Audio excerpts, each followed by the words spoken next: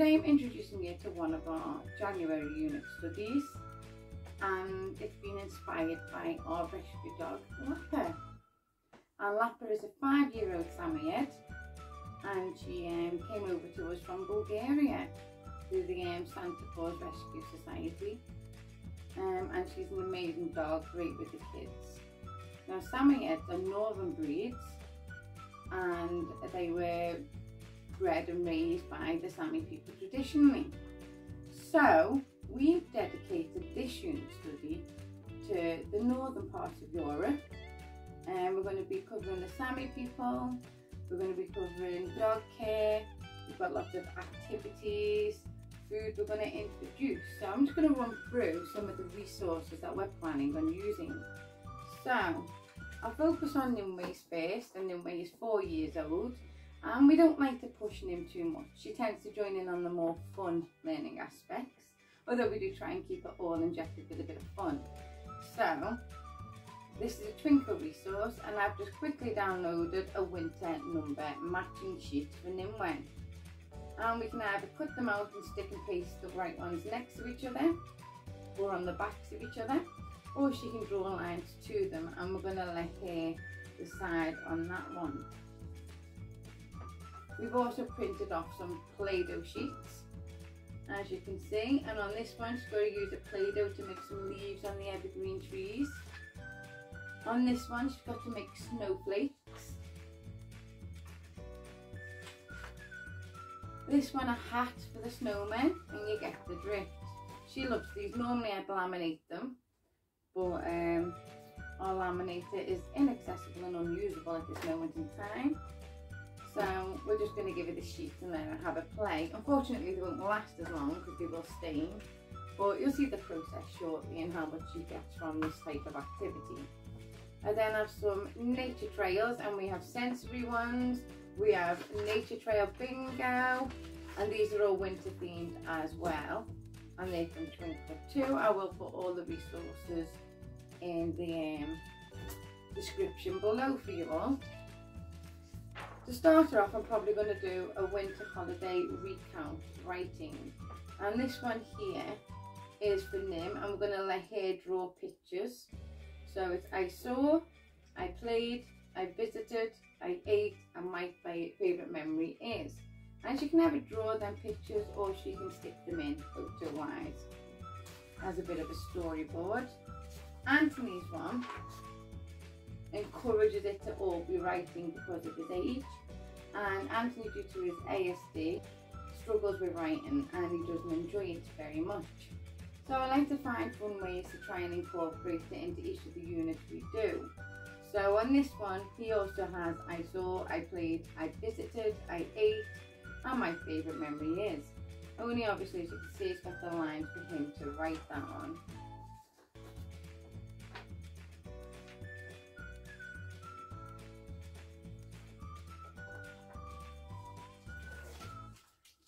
Them out the way. I also have lots and lots of resources for art, crafts and science experiments which we're going to be doing. So for physics we have a bit of a sleigh building challenge and that's going to introduce physics and also incorporate arts and crafts into the one activity and then we'll see whose design is more sturdy shall we say and we'll do that in teams because obviously Nim's young she's going to need help. Um, this is a snowstorm in a jar which is a simple activity you can find online anywhere and I'm putting them in the description below. Produce a pine cone feeder. You saw us in a previous vlog do a pine cone feeder and put them out and about and they enjoyed that very much. So they want to do that activity again as well. And as it's still winter why not? The birds need all the help they can get and so do our squirrels. We've got we're going to be covering arctic animals and I do have a few powerpoints for that too.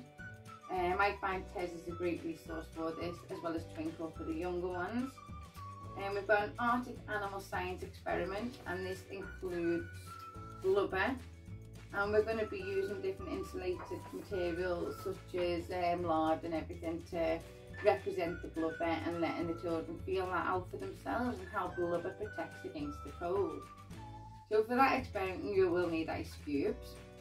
However again all the links to the resources will be online and you'll be able to access them.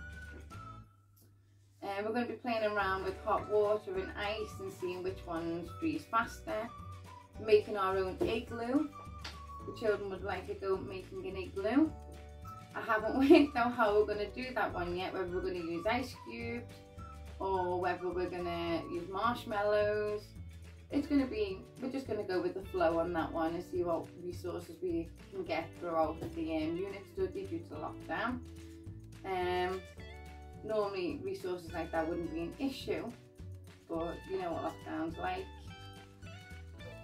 Another physics example we've got is a snowball launcher and we're going to make our own snowball launchers but obviously we needed to be snow for that one. We've got some water chemistry and we're going to be doing some frosty science using milk and food dyes and seeing different effects there. Nimue will absolutely love that one. Uh, a snow volcano, again another one that requires it to snow again.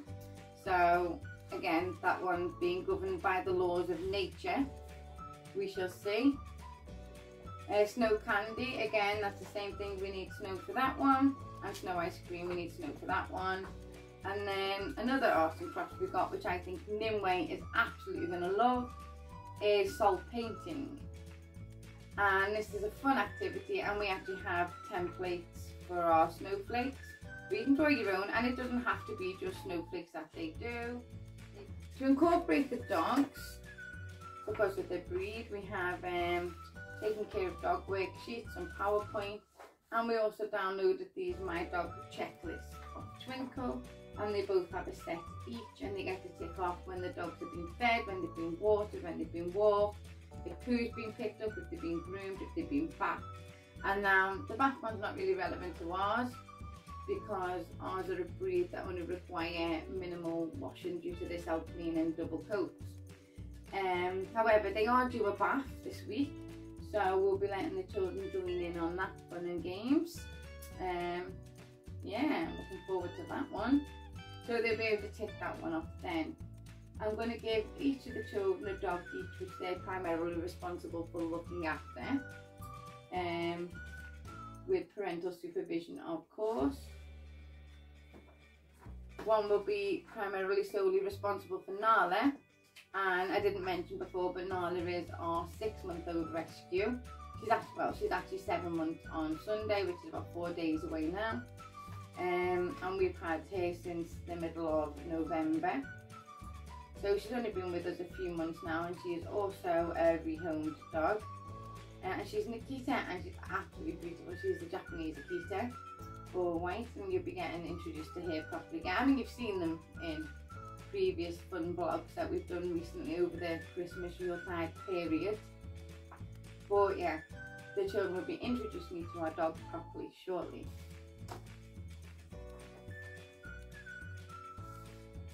So I also have worksheets on Northern Europe, the different flags, uh, the different countries that are included in Nor Northern Europe, Sweden, Iceland, Denmark, Norway, Finland, and we're going to do find out some facts about each of those, the climate, the animals that live there because my children are animal mad. Um, yeah, we've got quite a bit to do here. Temperatures, we're going to compare temperatures there to here. We're going to cover the history of migration as well and also the, the tribes that originally come from there. And these resources here are all about the Sami people because obviously that's where Samoyeds were bred. And we've got some traditional recipes here that I'm going to get the children to cook. We've got our fact sheets about these famous reindeer herders. And the Sami people are actually a, a tribe that I have admired for a long time, especially for the herbal medicine. So we do actually have information on their medicines of the land, what they use, uh, their indigenous medicine. So we do have a worksheet on the medicines that the Sami people adopt throughout their culture, traditionally and historically. And I'll be incorporating the children to little bits of information about that too because I am herbal medicine nuts. I absolutely love it. I swear by it. Um, obviously Western medicine has its place in the world, but I absolutely admire tribal medicine uh, from a historical point of view really. Um, and I just think it'll be fun to incorporate some bits like that. But I will be personalising it for the children. So, to introduce them to it gently, we're going to start off with the dog sheet, the holiday writing frames, and the Play-Doh. So we've got quite a bit here to begin on with, then we'll probably do some crafts after that too. So thank you for joining us for our latest unit study. I'm going to go get the children.